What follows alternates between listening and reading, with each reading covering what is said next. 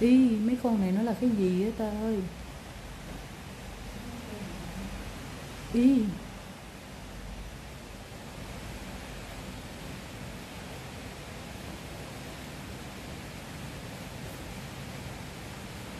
Nó là con sâu